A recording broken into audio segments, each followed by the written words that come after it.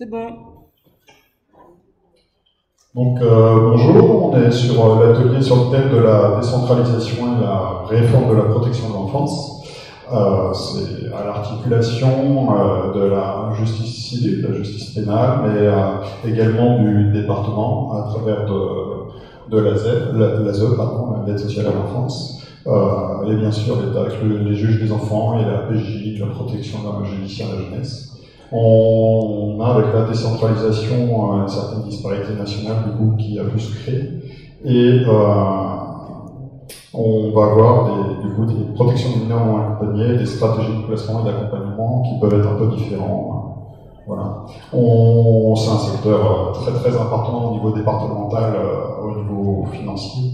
Et euh, du coup, euh, comment mener une politique publique qui serait en rapport avec les valeurs écologiques donc on va essayer d'aborder un petit peu tout ça euh, sous deux thématiques. Et d'abord, je vais vous présenter nos, nos, deux invités qui nous ont fait le plaisir d'être avec nous. Donc on va commencer par euh, Marie-Agnès Ferret, euh, qui a travaillé dans le domaine de la protection euh, de l'enfance et euh, qui a été directrice enfance famille au conseil départemental également, élue de Blois, et qui actuellement est chargée d'études enfance famille.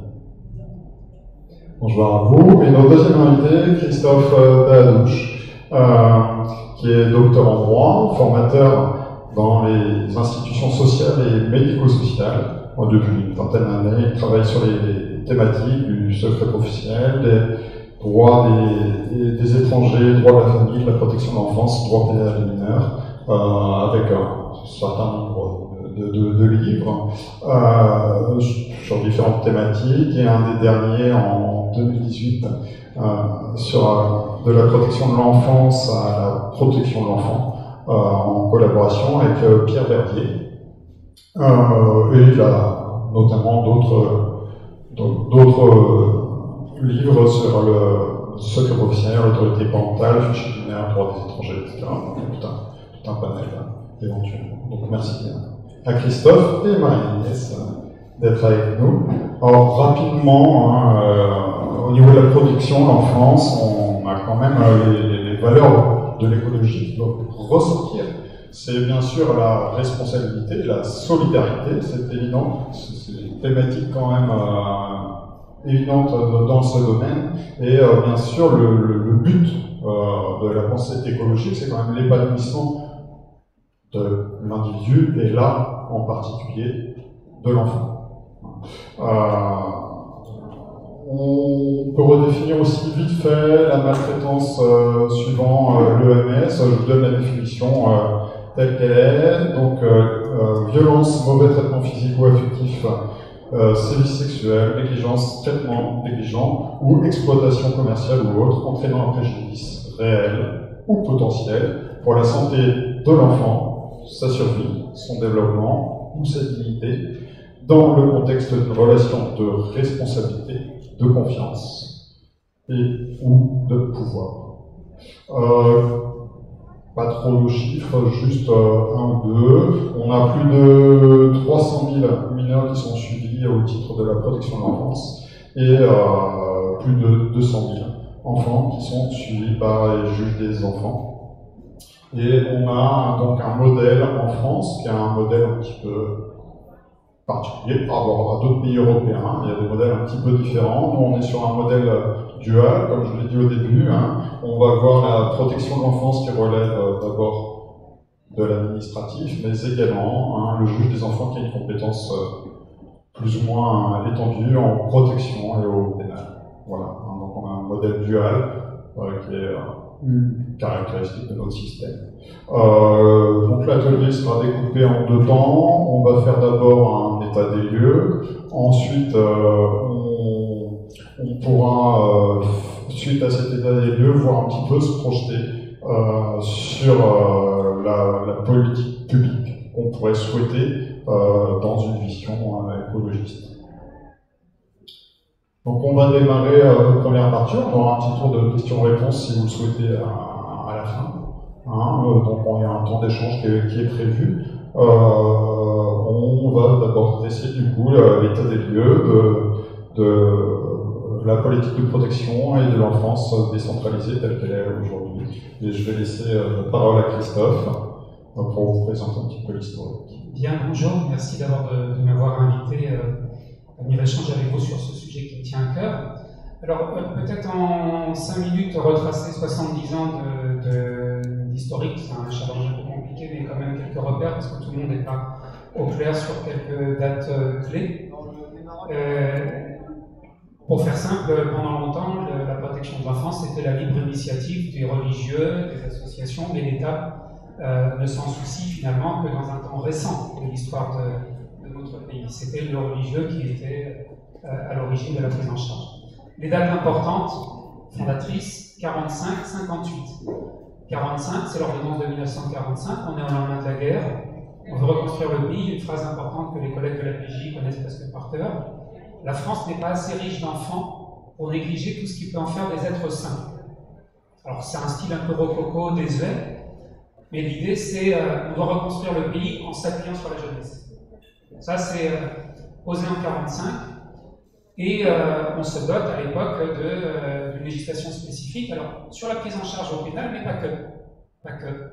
En 58, on complète le dispositif, et finalement, en additionnant ces deux lois, 45 et 58, on a un juge des enfants qui est au cœur du dispositif de protection de l'enfance et qui a une double casquette. Ça, c'est extrêmement important.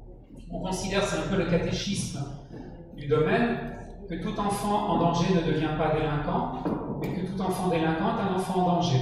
Et c'est pour ça qu'il faut qu'on ait un juge commun qui intervienne sur les deux volets, civil et pénal, pour aider, accompagner ou pour réprimer. C'est assez bien traduit dans le film Une tête haute, où on voit la juge des enfants qui parfois aide et puis parfois réprime. Ça, c'est l'historique 45-58. Dans le date importante, euh, évidemment, euh, on doit basculer au début des années 80, la décentralisation, et surtout le rapport bien collègue. Notre protection de l'enfance euh, avait pour quand même principale caractéristique de considérer que protéger l'enfant, c'était éliminer les parents. Et du coup, les parents n'avaient aucun droit. Les enfants étaient placés très loin, dans des familles d'accueil très très éloignées. Aucun droit de visite, aucun droit d'hébergement, aucun droit de correspondance. C'était l'assistance publique du LADAS. Euh, on a déporté des enfants réunionnais pour peupler la Creuse. On a des euh, gamins qui, pendant 3 ou 4 ans, n'avaient aucune nouvelle de leur famille, et réciproquement. Et du coup, le début des années 80, la décentralisation, c'est aussi la remise à plat de tout ça en disant euh, protéger un enfant, ça ne veut pas dire éliminer les parents. Alors qu'on a pendant longtemps considéré que parents nocifs, carencés, euh, enfants qui basculent pupille très vite, et on mettait ses parents hors circuit. Donc 83-84, tournant à la fois organisationnel, puisqu'on est sur la décentralisation, mais aussi la loi de 84 qui, pour la première fois, reconnaît des droits aux parents. Les mesures de placement, pour la première fois, sont limitées dans le temps. Qui se rappelle que jusqu'en 84, les enfants étaient placés sans limite dans le temps? Il n'y avait pas durée, il était placé, point. Et tout le monde oubliait. Donc ça, c'est un tournant absolument euh, euh, essentiel et c'est récent. Et c'est récent. 89, la loi sur la maltraitance, la création du 119, numéro vert enfants sans danger. 2002, pour la première fois, les familles peuvent accéder au dossier au bail du tribunal. Ça dit aussi beaucoup. Les familles n'avaient pas le droit de lire les écrits des travailleurs sociaux quand ça arrivait devant les juges. C'est seulement depuis 2002 que les familles peuvent euh, se pointer au tribunal, lire le signalement et voir euh, finalement quels sont les griefs qu'on leur fait sur leur modèle éducatif. Ça, c'est 2002. 2007, une réforme importante de la protection de l'enfance qui est venue euh, créer des aides nouvelles, réorganiser le système de signalement avec la notion d'information préoccupante, la création des observatoires départementaux de la protection de l'enfance, et puis 2016, une dernière loi euh, absolument essentielle sur le statut des enfants pris en charge, sur les jeunes majeurs, sur les mineurs isolés, on va reparler de tout ça, euh, sur euh, aussi la relance de la loi 2007, parce que, et c'est peut-être un point important de notre discussion, la loi 2007 avait, 2007 avait mis en place un certain nombre d'outils qui n'ont pas été respectés par les départements. La création des cellules n'était pas tout à fait conforme à ce que les lois avaient prévu, les signalements n'étaient pas respectés. La loi 2007 avait prévu la contractualisation avec les parents dans ce qu'on appelle le projet pour l'enfant, On constate en 2016 qu'à peine 30% des départements respectent la loi. Et le législateur en 2016 dit bon, maintenant ça va, il faut que la loi de 2007 soit respectée. Et finalement, la moitié de la loi de 2016, 9 ans après, c'est rien d'autre que reprendre la loi de 2007 et faire en sorte que enfin cette loi soit respectée. On est en 2020, je pourrais vous faire la liste de toutes les dispositions qui ne sont toujours pas respectées. Et ça, c'est un des grands problèmes de notre système de protection de l'enfance. Dès lors qu'il est décentralisé, quels sont les garde-fous qui permettent de s'assurer que les départements mettent en place les outils que le législateur euh, euh, a posés? Donc voilà, vraiment un grand trait, comme ça, quelques repères. Je vais laisser Marie-Agnès euh, compléter mon propos sur l'organisation telle qu'elle est posée aujourd'hui, mais je voulais quand même qu'on ait en tête ces, grandes dates rapidement je vais, peut-être, parce que j'ai entendu le mot cellule et tu n'as pas dit cellule de recueil des informations préoccupantes. Attention, on ne parle pas d'une cellule comme ça. Hein, La cellule de recueil des informations préoccupantes qui doit être mise en place dans chaque département et qui a pour mission, en fait, à la fois de recueillir les informations qui concernent les enfants qui pourraient être en danger ou en risque de danger et de mettre en place, si la situation le réclame, des évaluations de la situation. Hein, donc, euh, euh, en fait, le problème qu'on peut avoir dans le cadre de cette politique décentralisée, c'est que, au titre de la libre administration des collectivités, euh, chaque département a appelé d'une façon différente cette cellule de recueil des informations préoccupantes. Alors, comme on est dans un domaine un peu technique, on adore les acronymes. D'abord parce que ça simplifie un peu l'entre-soi, et puis surtout, euh, ça permet à monsieur et madame tout le monde d'absolument rien comprendre à ce domaine. Ce qui euh, évite en plus qu'on vienne nous enquiquiner sur des choses qu'on pourrait comprendre mieux. Et je dirais qu'il y a aussi euh, une certaine méfiance du politique sur, cette, sur cette politique de protection de l'enfance. On se méfie des politiques et en particulier des conseils départementaux euh, puisqu'effectivement, en 83, décentralisation, cette politique nationale portée par l'État devient une politique départementale. Et je crois qu'on n'est pas tout à fait sorti de cette méfiance euh, de bah, finalement les conseils départementaux garantiraient moins euh, la protection des enfants que ne le faisait l'État autrefois. Ce qui est un non-sens, puisqu'en fait, ce qu'on constate sur ce qui se passait dans les DAS, euh, dans les services unifiés de l'enfance, avant 83, euh, dans les services de l'assistance publique, là on est encore plus, loin, euh, c'est qu'il y avait une grande inégalité des enfants sur le territoire. Et que, en fait, le constat qu'on peut faire dans effectivement ce qui peut se passer dans les départements, c'est qu'en dépit de ce qu'on peut imaginer, la situation des enfants, elle est plus, elle s'est vraiment bien arrangée depuis les lois de décentralisation. Ce qui pose problème, c'est qu'effectivement, on n'a pas une lecture nationale. C'est-à-dire que tant en ce qui concerne les noms des services, les noms des personnes, des fonctions exercées, ça c'est la grande foire à l'invention. Euh, on est incapable de comparer en fait les organisations. Elles sont différentes dans chaque département. Les missions sont assurées, mais elles le sont de façon très différente ce qui ne permet pas d'avoir une lecture nationale de ce qui se passe en matière de protection de l'enfance. Euh, ayant travaillé en département, euh, étant élu euh, local, en ville et en communauté d'agglo, je défends la décentralisation. je pense qu'effectivement, cette politique, elle doit être au plus près de la population et que le département, c'est absolument pas une aberration qu'il soit en charge de cette politique mais qu'en tout cas, on devrait avoir le moyen, effectivement, de mieux euh, contrôler, le mot est peut-être un peu fort si effectivement des présidents de conseil départementaux m'entendaient, mais qu'en tout cas, on en ait une lecture beaucoup plus simple et que surtout, les professionnels en charge de prendre les décisions au sein des conseils départementaux aient la même, euh, la même fonction, le même titre, et qu'on puisse repérer qui est responsable de quoi dans cette organisation. Et pour ajouter à la difficulté, euh, les départements adorent se réorganiser. Euh, pour ceux d'entre vous qui euh, éventuellement travaillez dans, dans, le domaine de la protection de l'enfance ou dans une collectivité départementale, là aussi, euh, c'est vraiment la foire de la réorganisation. Et dès qu'on a un nouvel élu, dès qu'on a un nouveau directeur général des services, l'objectif est d'imprimer sa patte. Voilà, donc je réorganise, donc je reprends tout. Euh, je, reprends toute mon organisation territoriale, toute mon organisation euh, pyramidale, et que ce soit pour les partenaires, mais aussi pour les gens qui travaillent en interne, une grande difficulté à s'y retrouver. Ce qui n'empêche pas la mission d'être assurée euh, et d'être assurée la plupart du temps de façon euh, correcte, contrairement à ce qu'on peut voir dans une multitude de reportages qui sont systématiquement à charge euh, contre le système de protection de l'enfance, puisqu'effectivement on ne va présenter que des situations dramatiques qui existent. Hein. On ne va pas se mentir, il y a des situations dramatiques mais elles sont à la marge du système. C'est-à-dire que la majorité des professionnels, la majorité des organisations sont respectueuses des enfants et sont respectueuses des familles. Cependant, euh, on peut dire qu'il y a beaucoup d'améliorations euh, effectivement euh, à, faire.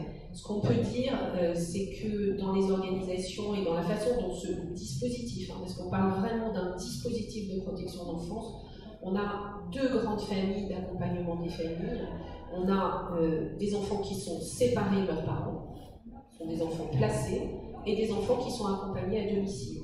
Et dans euh, les 300 000, 310 000 enfants qui chaque année sont accompagnés en protection d'enfance, c'est à peu près moitié-moitié. Moitié des enfants à domicile, moitié des enfants séparés de leur, famille. Et dans chaque catégorie euh, d'enfants, on a différents, différentes façons de les accompagner. Euh, pour des enfants qui sont placés, euh, ça va être en établissement ou en famille d'accueil, avec euh, aussi plein d'autres possibilités. Ils peuvent être en appartement indépendant s'ils sont autonomes, ils peuvent être en, en FJT, en internat scolaire, en établissement spécialisé parce qu'ils ont des, handicaps mentaux ou physiques. Enfin, on a vraiment tout un tas de possibilités qui existent, des lieux de vie également.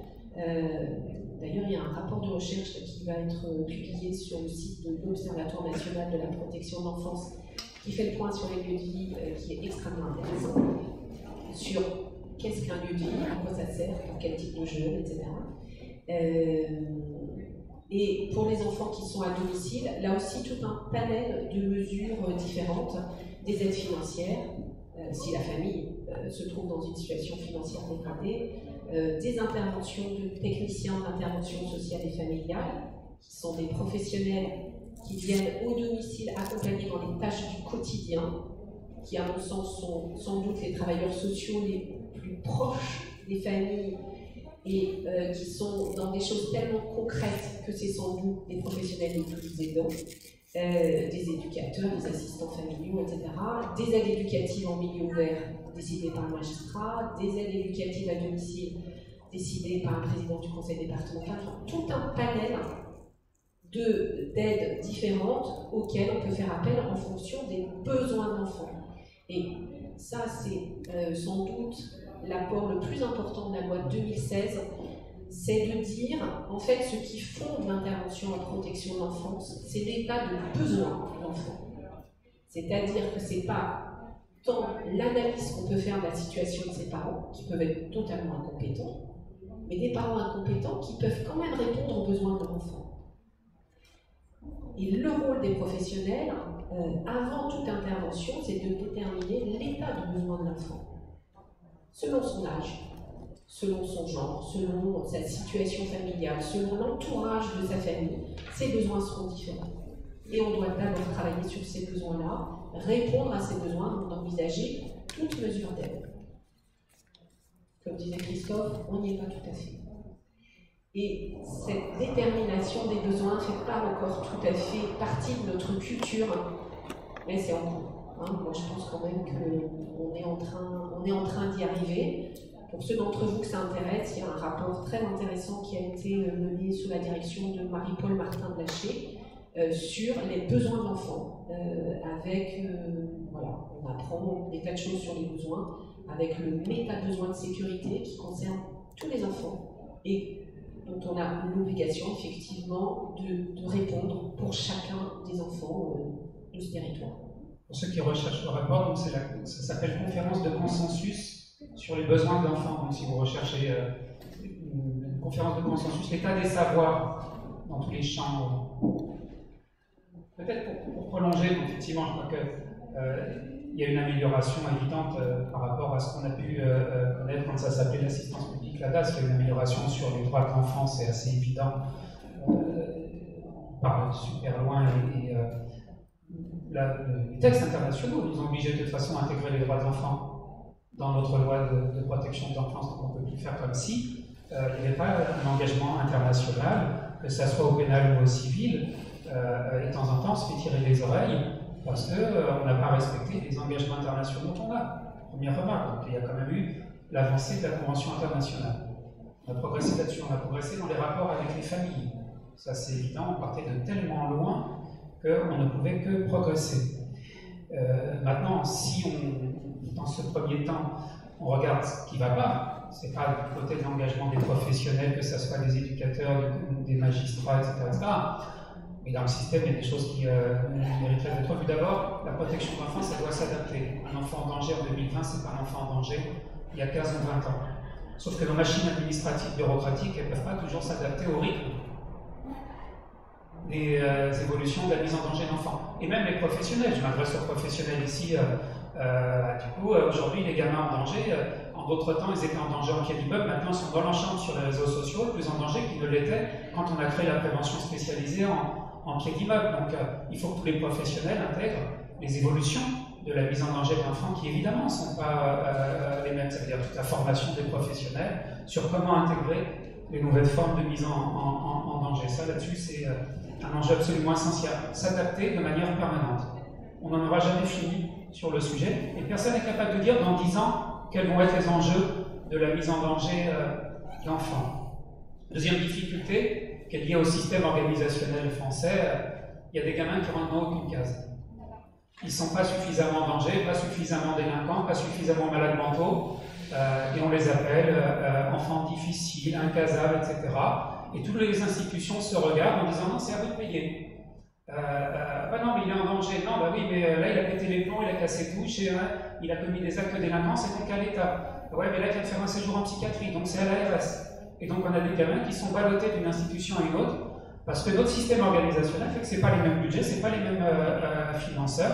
Et donc, on a des pauvres mondes qui sont à la jonction, dans les dents creuses de nos dispositifs euh, et ça, c'est un enjeu absolument euh, euh, essentiel.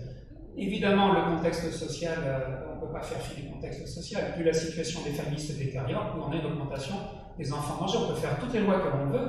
Moi, à chaque fois que j'entends des fermetures d'entreprises dans telle ou telle région où vous avez les deux parents qui bossent dans la même boîte, ça veut dire des parents qui, à un moment donné, vont chuter économiquement, moralement, culturellement, etc.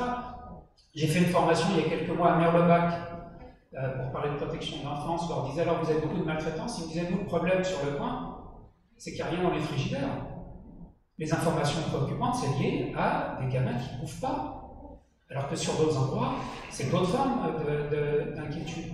Donc on a un contexte social, on ne peut pas fermer euh, les yeux sur cette réalité-là, qui impacte nécessairement la protection de l'enfant. Elle ne vit pas dans une bulle, pareil du euh, contexte économique et social. Et puis, je suis quand même obligé de, parler de la loi du marché, parce que l'un des grands enjeux de la protection de l'enfance, mais du social en général, c'est que le marché est rentré dedans. Et quand il dit le marché, des grandes entreprises qui euh, euh, ont repéré qu'il y avait aussi un peu de thune à se faire sur l'enfance en danger, et qui du coup euh, présentent des appels d'offres à des prix qui cassent la concurrence du secteur associatif historique, qui lui était désintéressé, mais qui se retrouve face à des mastodontes qui viennent euh, et malheureusement, ça c'est un enjeu pour le département. On donne euh, le marché du foyer ou de telle ou telle activité au mieux 10 ans ou au moins 10 ans? Non, vous comprenez ce que je peux dire? C'est-à-dire que du coup, vous avez des prix de journée qui euh, sont baissés parce qu'on a des grandes entreprises qui proposent moins cher. Mais en général, quand c'est moins cher, bah, c'est moins bien. Alors vraiment, donc je crois qu'on ne peut pas dans un, environnement qui est celui de ces trois jours où on parle de politique, ne pas faire fi du fait que les directives européennes qui ont fait que le social est rentré dans la logique de marché fait que la protection de l'enfance c'est aussi un marché. Et on le voit sur les prix de journée, particulièrement sur les mineurs isolés. où eux, ils sont vraiment au rappel. Donc voilà, je disais, il y a une amélioration des pratiques professionnelles, c'est assez évident. Il y a des, éléments que je voulais poser là qui sont des enjeux qu'on doit tous avoir autour de nos esprits. Alors, on n'est pas forcément d'accord. Moi, je ne pense pas que plus c'est cher, mieux c'est. Souvent, plus c'est cher, moins c'est bien. Pourquoi? Parce qu'en fait, euh, vous avez malheureusement. Euh, comment je vais dire ça? On est dans un pays latin qui a beaucoup de, difficultés à être pragmatique. Les anglo-saxons, ils ont beaucoup moins d'état d'âme. Ils font des expériences, ils ouvrent des établissements, et ils disent dans deux ans, si ça ne marche pas, on ferme tout, on licencie tout le monde. C'est extrêmement dur, mais en tout cas, ça mérite, là pour le coup, de répondre aux besoins. Je pense effectivement, on parle beaucoup des, expériences québécoises. Hein. Les Français, on aime beaucoup le Québec. On dit qu'au Québec, c'est génial, mais eux, ils font ça. Ils ouvrent des établissements et ils disent, au bout d'un an déjà, on verra si ça répond aux besoins des mômes. Et si on trouve que finalement, ça ne nous apporte pas grand-chose, on ferme tout et on recommence quelque chose de différent. Ici, euh, généralement, on est plutôt dans des établissements historiques qui ont répondu aux besoins à un moment, mais qui ne répondent pas forcément de façon adaptée aujourd'hui. Mais on va mettre beaucoup de temps à prendre la décision de fermer ou de passer à quelque chose de très différent. Je pense à des, à des endroits euh, ou à des choses que j'ai pu entendre. J'ai entendu un député, je crois que c'était en Lozère, on a beaucoup d'établissements sociaux et médico-sociaux, un député dire euh, Vous ne pouvez pas fermer nos établissements, c'est notre économie locale qui en souffrira. Euh, pardon C'est-à-dire que là, on parle de mots qui sont séparés de leur famille. On parle juste de dire qu'ils ne sont pas originaires de ce département, que pour leurs parents, c'est compliqué d'aller les voir et de les rapprocher de là des endroits dont ils sont issus. C'est juste une mesure de respect des enfants et de leur famille. Mais on a un député qui dit Ah l'économie locale en souffrirait. Ce qu'on peut entendre. Sauf que là, on parle d'humains, on ne parle pas d'une production de boulot, on parle d'enfants qui sont séparés de leur famille. Et beaucoup de difficultés, effectivement, à fermer des établissements qui dysfonctionnent.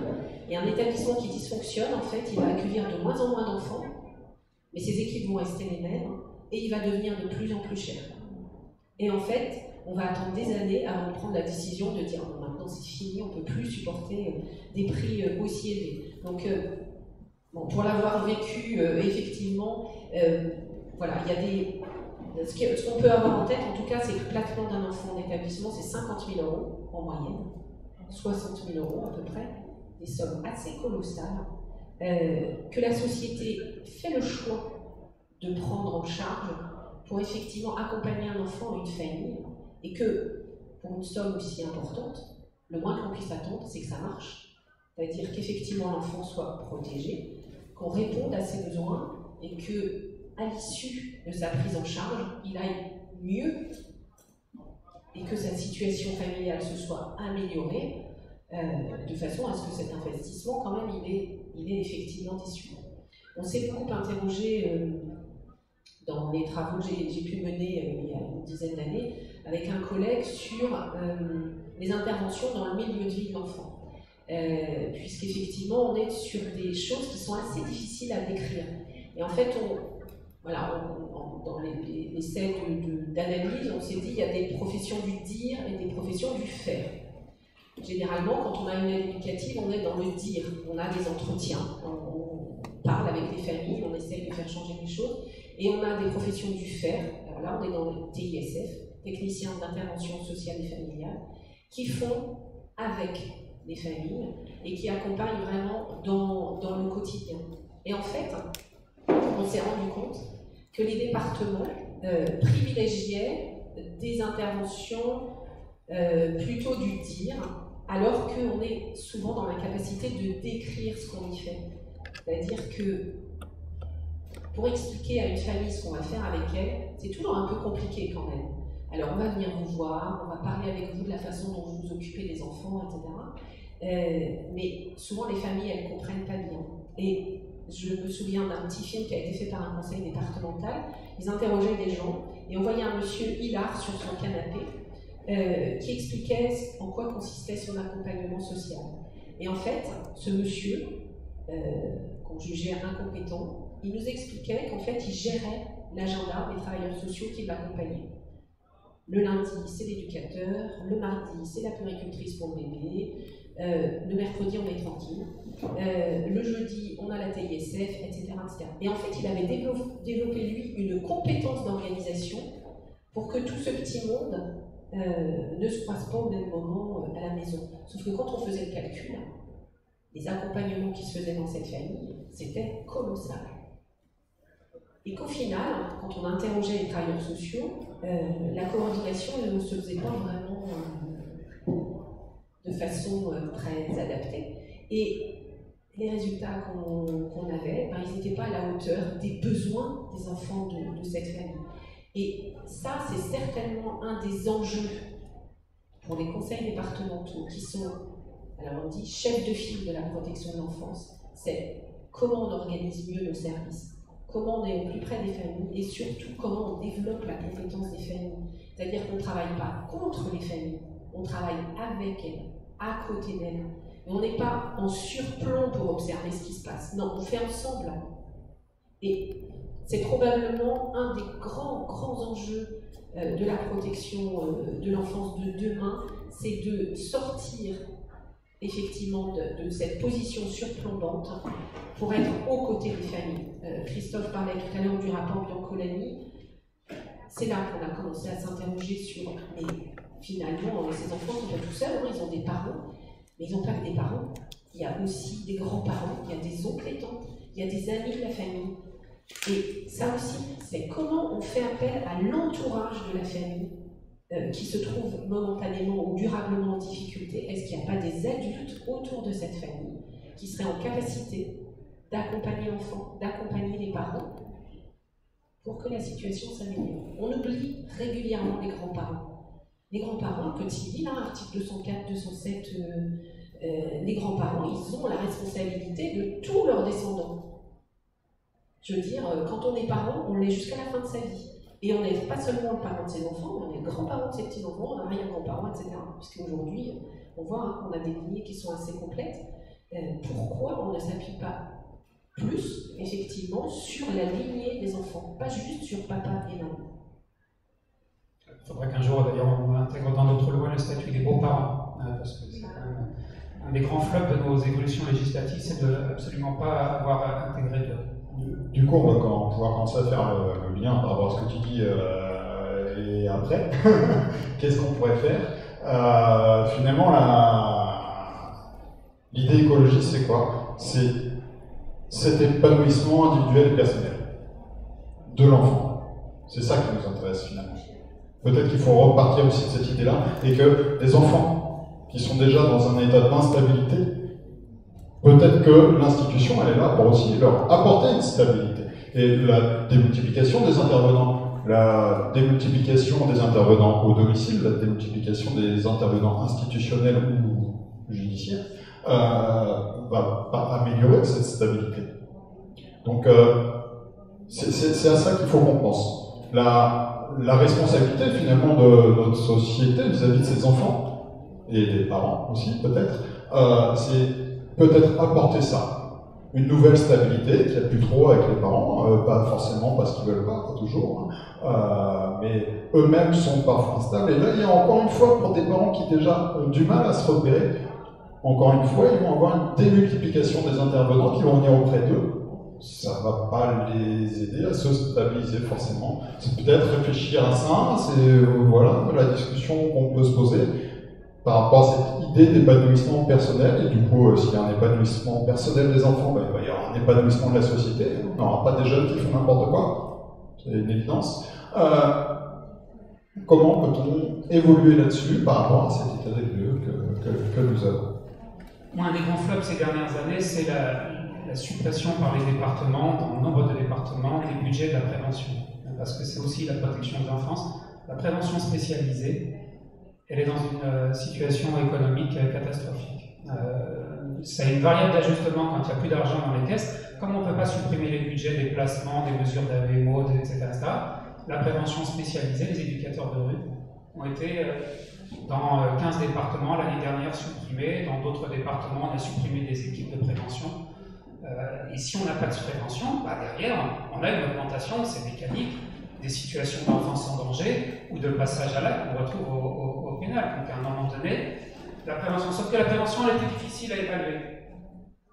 La prévention, euh, quand on demande aux éducateurs de euh, euh, justifier ce que vous faites, c'est compliqué. En général, on se rend compte de l'utilité de la prévention quand elle a été supprimée. Je dis souvent la prévention spécialisée, c'est Olivier Giroud dans l'équipe de France. Quand il joue, on dit il sert à rien, mais quand il n'est pas là, on dit merde. Bah, la prévention spécialisée, c'est pareil. C'est pareil. Donc elle a été supprimée.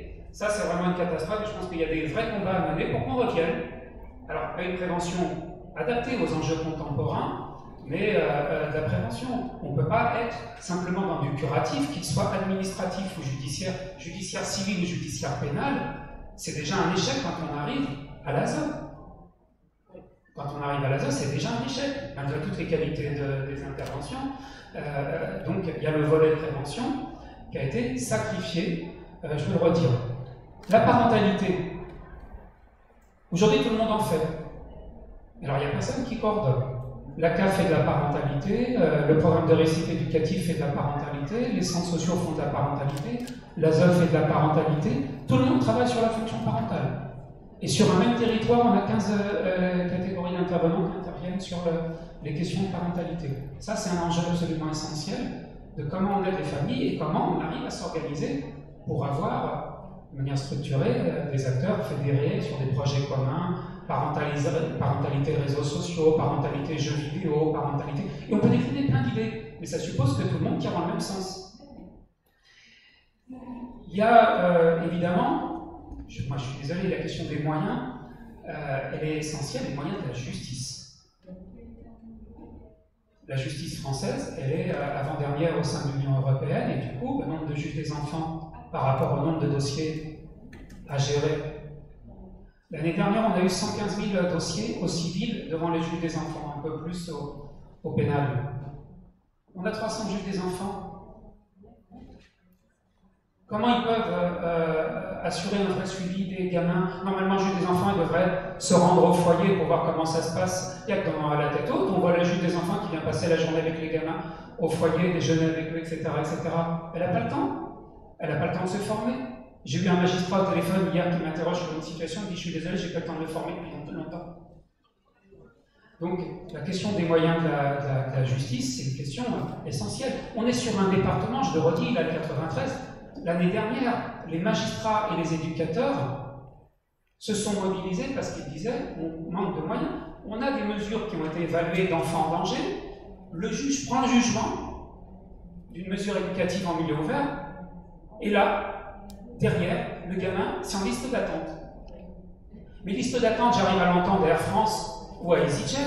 J'arrive pas à entendre qu'un enfant est en danger en liste d'attente. Ça veut dire que du coup, les services éducatifs étant saturés ne peuvent pas intervenir maintenant, et en vérité, ils vont mettre dans l'ordre des priorités tel gamin plutôt que tel autre, pourvu qu'il se passe pas un drame.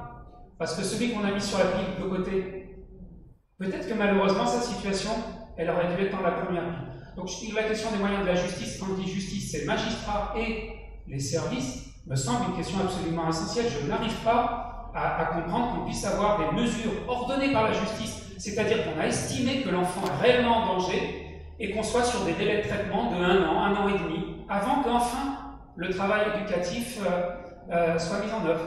Ça, c'est inentendable intellectuellement. Je reviens sur ton idée de délai.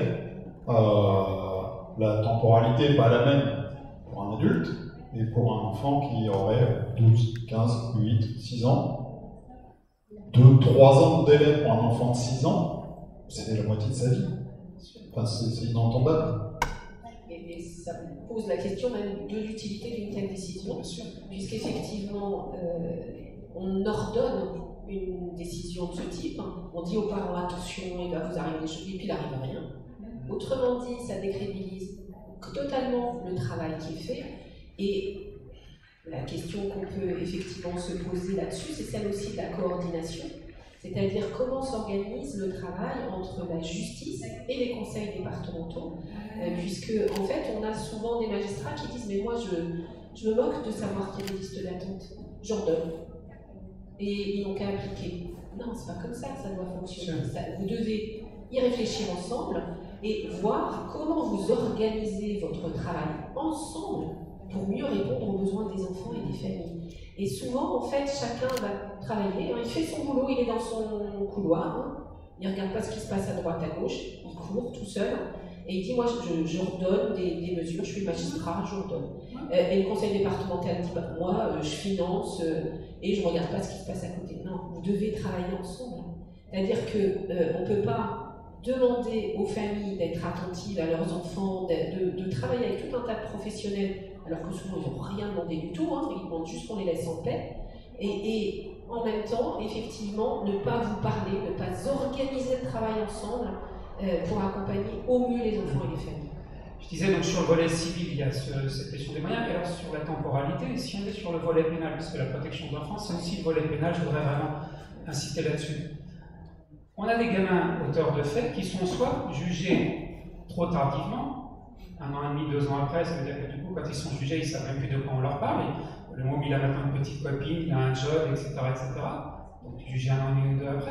Ou alors, et là c'est ce que Belloubet a lancé, qui va être malheureusement repris, jugé en, en temps réel.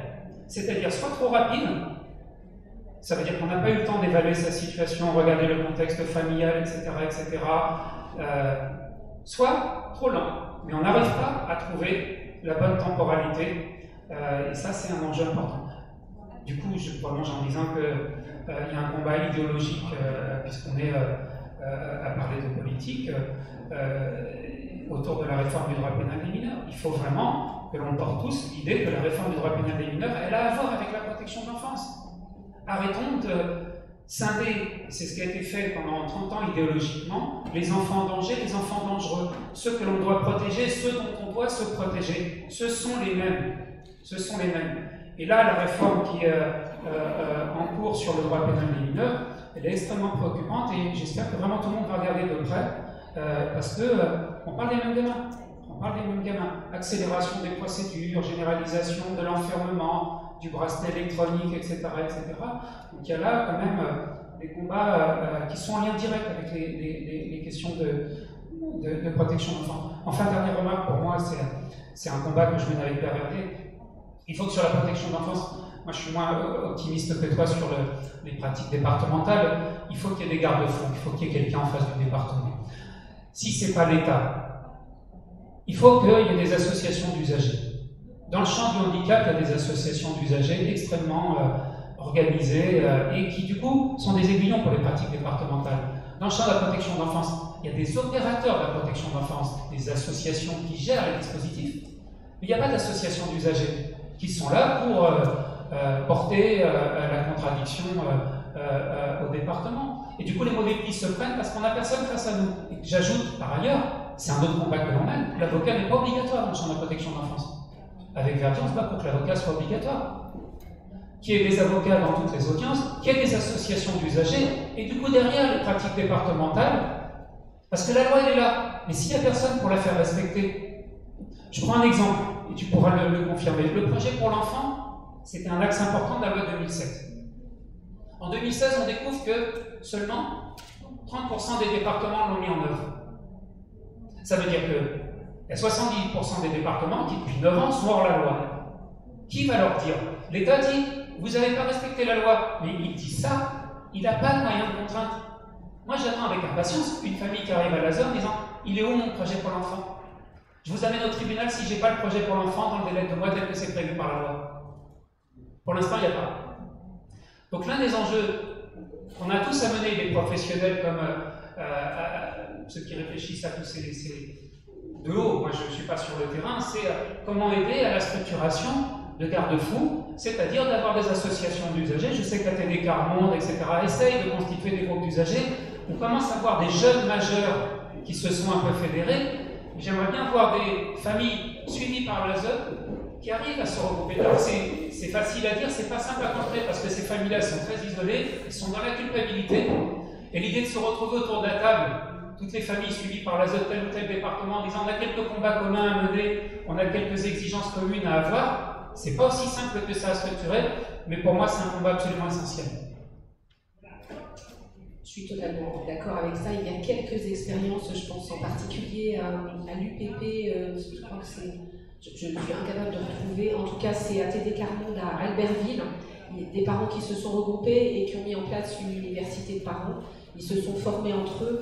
Euh, et euh, sur le, sur le site April, A-P-R-I-L-E-S, j'avais écrit un truc sur eux, donc voilà, c'est pour ça que je m'en souviens.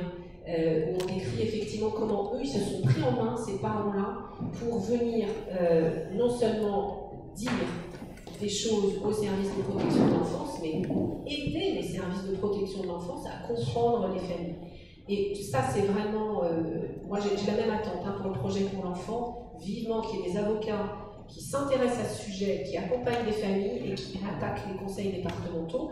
Parce que, alors, c'est vrai qu'on est parti un peu vite, on rentre vraiment dans le vif du sujet sans vous avoir forcément expliqué, parce qu'on n'a qu'une 53 minutes et qu'on ne peut pas vous faire un cours, c'est extrêmement complexe, mais un projet pour l'enfant, c'est euh, pour chaque enfant et en fonction de ses besoins, à partir du moment où on a une mesure de protection de l'enfance, qu'elle soit en milieu ouvert ou de placement, on doit déterminer quels sont les besoins de l'enfant et de quelle façon on va y répondre. Le service de la protection de l'enfance s'engage, les parents s'engagent et l'enfant est, est partie de ce projet pour l'enfant. C'est vraiment une pièce essentielle. Dix ans après, on n'a toujours rien dans certains départements, ou alors on a des espèces de documents administratifs absolument imbuffables que personne ne comprend, avec des termes hyper complexes. Moi j'en ai lu, je, je relisais deux fois, je disais euh, qu'est-ce qu'ils veulent dire Mais enfin, on s'adresse à des parents qui n'ont pas forcément beaucoup de vocabulaire, qui pour certains ne maîtrisent que difficilement la langue française, et on leur donne ça, mais c'est c'est de la charité, c'est pas autre chose. On n'est pas dans l'accompagnement, on est presque dans la maltraitance des familles quand on fait ce genre de choses. Bon, moi je. Bon, non, mais c'est vrai, euh, franchement, je, je trouve qu'on a, euh, dans l'administration française, et le conseil départemental est une administration, euh, tendance à être irrespectueux avec les familles dans la façon dont on s'adresse à elles. Il suffit de lire les courriers qu'on envoie quand on reçoit une information préoccupante. Madame, monsieur, je viens de recevoir une information préoccupante. Alors déjà, c'est quoi? Ça veut dire quoi? Qu'est-ce que ça signifie? Euh, Nous allons mener avec vous une évaluation sociale des conditions de vie dans lesquelles vous élevez votre enfant. Et ça encore, je le fais simple. On va mettre des acronymes sans la, traduction. Nous ferons intervenir une AS, un ES. Qu'est-ce que c'est? Qui sont ces personnes? Et, d'ailleurs, est-ce que c'est des personnes? On a une façon de faire avec les familles qui est souvent très irrespectueuse. Et pour les magistrats, moi j'en ai aussi un peu. La, justice des mineurs, elle est souvent menée dans le cabinet du magistrat, qui n'est jamais tenu. Euh, alors, on va dire l'uniforme, c'est pas obligatoire, machin. N'empêche que l'uniforme, enfin, la robe de magistrat, elle signifie quelque chose. Les avocats, ils enfilent toujours leur robe.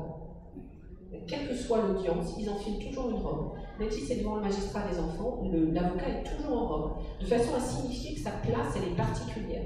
Les magistrats, bah, on va faire ça presque sur un coin de table, quoi. La solennité qui devra être là, et qui est celle qui est utilisée pour la majorité des justiciables en, droit de la famille, elle est rarement, rarement au rendez-vous. finalement, ce que tu décris, c'est partout un petit peu pareil. Hein. Ça permet de, au niveau municipal, au niveau croisé, au niveau, au niveau euh, de la protection de l'enfance, au niveau éducatif. On a une multiplicité des acronymes, multiplicité des, termes techniques, qui fait que finalement, euh, la personne lambda, déjà, même sans difficulté particulière, peut avoir du mal elle-même à saisir les choses. C'est peut-être ça aussi qu'il faut repenser. Toute cette partie administrative là qui est faite pour que justement Personne ne vient embêter. C'est ça qu'il faut repenser aussi, certainement. Est-ce que vous avez des questions sur euh, euh, des questions par rapport au sujet des accords euh, Bonjour, donc je suis Fabrice, donc Fabrice Guillaume, militant écolo depuis peu sur Paris. ancien éducateur spécialisé, ancien cadre du médico-social, notamment en IME. je connais tout ça depuis une longue date. Euh, je venais aujourd'hui pour la question des, mineurs euh, isolés, euh, qui sont en statut un peu précaire et entre deux, incasables également. Et donc du coup, c'est qui paye, qui va, comment, comment on va réformer pour ces personnes-là, qui vont être, qui sont des enfants, mais qui sont reconnus comme adultes une fois que les, décisions sont prises. Donc c'est un peu un, statut particulier. je reviendrai sur un propos quand même de Madame. Je, je, rejoins, je suis entièrement d'accord quasiment sur tout, sauf sur la question de, euh, du prix. On n'a pas de prix. L'enfant n'a pas de prix. Pourquoi? Parce que j'ai travaillé dans 93, et je ne devrais pas citer le nom, mais je vais le faire. SOS. Le groupe SOS est venu sur le secteur social et médico-social prendre le pas. Et on en a vu d'autres, Aurore et compagnie et compagnie. Et on ne voit que par le gain d'argent. Euh, quel, département va pouvoir gagner? C'est terrible. On est sur un, secteur qui est malheureusement financiarisé. J'ai fait un burn-out en IME en tant que chef de service il y a un an, un peu plus d'un an. Pourquoi? Parce que on, est complètement déconnecté de la réalité. J'étais dans l'enclume entre les décisions du haut, les décisions du bas, et le fait que le bas remonte, le haut, il y a l'enclume et on ne s'entend pas. Pour un enfant qui était incasable, handicapé, plus trouble psy, eh bien on n'a pas ce trouble et plus euh, difficultés sociales et familiales. 15 intervenants dans la famille, 15. Et les 15, à la MDPH, ne se connaissaient pas. Et j'ai réclamé, j'ai réclamé en tant que chef de service, deux réunions. Une, la, première a eu lieu, les, plus déconnectés de la réalité viennent suite à des, crises institutionnelles. Vous disiez, l'institution est là pour donner un cadre à l'enfant. Parfois, je ne vais pas dire que c'est général, au contraire, hein. dans l'ensemble, dans ma carrière, j'ai vu que les trois quarts, enfin plus de 90% des cas, c'est des, choses qui fonctionnent. Mais on a un cas où 10% où ça ne fonctionne pas et ça peut même impacter l'ensemble des situations, y compris en IME, du coup, où l'enfant est venu faire des crises à répétition. Et donc l'ensemble du, système, les enfants, les autres enfants, les parents des autres enfants, les partenaires, les professionnels, tous ont été mis au tapis. Un autre point qu'on n'a pas abordé, c'est la refonte de la, de la professionnalisation. On est en train en France de déconsidérer l'historique. Je m'excuse, mais il ne reste plus qu'une minute et ça va couper. Je clôt ma phrase, On est en train de déconsidérer, déconsidérer l'historique de, de la, du social en France. Il reste plus qu'une minute. un peu, un peu. On, on fait un peu de rap. Je voudrais euh, simplement euh, savoir en France combien, peut-être vous l'avez dit au début, je n'étais pas là, euh, on considère quel est le pourcentage d'enfants français victimes de violences psychologiques ou physiques. C'est quoi le pourcentage? En fait, on n'a plus de chiffres. Euh, a procédé à, une étude sur les signalements des enfants en danger ou en risque de danger jusqu'en 2007. Euh, depuis cette date, on n'a plus de chiffres nationaux et il faut aller les chercher département par département. C'est extrêmement compliqué euh, en plus parce que les définitions ne sont pas les mêmes. Euh, on n'a pas la même façon de compter selon les endroits. L'Observatoire national de la protection de l'enfance essaye depuis des années de colliger des chiffres qui soient à peu près cohérents et c'est extrêmement compliqué. Euh, ce qu'on peut dire, c'est que euh, chaque année, on avait à peu près 90 000 enfants qui étaient signalés, mais tous n'étaient pas en danger. Ce qu'on peut dire, c'est que la maltraitance, qu'elle soit physique, euh, psychologique ou sexuelle, n'est pas le sujet le plus important pour les enfants en danger. En fait, les enfants en danger sont plutôt des enfants qui sont victimes de négligence et de négligence lourde. C'est-à-dire que c'est moins l'action sur les enfants que l'abstention. D'accord? Et que euh, les, les, familles les plus fragiles euh, sont des familles monoparentales, plutôt féminines et inactives. C'est-à-dire que si on cumule la monoparentalité féminine inactive, on a là, on le sait, euh, un, risque extrêmement important que les enfants soient en danger. Ça ne veut pas dire que toutes les familles monoparentales féminines inactives sont maltraitantes, mais que, en tout cas, on sait qu'en matière de prévention, c'est sans doute à l'égard de ces familles qu'il faut être le plus attentif. Et que l'activité des femmes, bah, c'est très protecteur. Christophe, Juste un tout petit mot sur les, sur les mineurs isolés. Ça fait 20 euh, ans qu'il y a un débat entre l'État et les collectivités locales. Euh, L'État considère que c'est des euh, enfants en danger qui relèvent des départements. Les départements, c'est la position de l'association des départements de France, considère que c'est des étrangers qui sont rentrés illégalement, et ça veut dire que c'est à l'État de euh, gérer ce public-là. De mon côté, je pense qu'on partage ça en commun, on considère que c'est des enfants, donc normalement ils relèvent des départements, sauf que du coup, vous avez des départements qui refusent de les prendre en charge. On a mis en place un système de péréquation pour obliger tous les départements à en accueillir avec des systèmes de quotas, mais il y a des départements, Nantes, Loire-Atlantique, refusent même de mettre en application des décisions des juges des enfants. Le juge des enfants qui place un enfant sur le département de Loire-Atlantique, le département de Loire-Atlantique dit Moi, je ne mettrai pas exécution la décision du juge des enfants, c'est à l'État de les prendre en charge. Donc il y a là un enjeu compliqué entre l'État et les collectivités locales. Et la dernière réforme sur les mineurs isolés, c'était le ministère de l'Intérieur. C'est l'examen osseux généralisation d'examen osseux, fichier AEM, c'est le ministère de l'Intérieur qui a la main sur, sur euh, euh, les mineurs étrangers isolés, et c'est pas du tout le ministre de la Protection de l'Enfance. Euh, et tant que ce public-là relève du ministère de l'Intérieur, il ne faudra pas s'étonner que la vision soit policière. Une dernière question. Je suis cadre socio-éducatif en milieu hospitalier, et moi, mon souci, c'est le département et le soin. Je veux dire que quand on rencontre des familles qui ont des enfants autistes, les autistes profonds, on est dans le soin. Mais mine de rien, on a besoin que ces familles soient accompagnées. Et bien, on a automatiquement des refus d'aider parce qu'on me dit c'est la psychiatrie. Eh bien non, c'est pas l'éducatif. Et je trouve ça bien dommage qu'on soit dans deux secteurs différents de même formation. Je suis assistante sociale de formation et je le resterai toute ma vie. Et que j'ai une collègue du département qui me dit mais non, c'est du soin. Et pourtant on a la même formation. Et du coup on ne se comprend pas. Et c'est des familles qui sont du coup en souffrance qui peuvent potentiellement être euh, mises en danger leur enfant. Et moi, je l'ai vu lors du confinement. Lors du confinement, le département, ils ont fait du télétravail, ils sont restés chez eux.